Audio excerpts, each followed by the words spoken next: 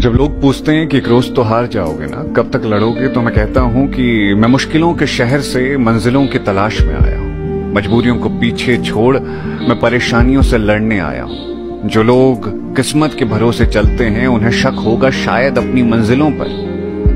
मैं कैसे हार मान लू? मैं मेहनतों के दम पर अपनी मंजिलें पाने आया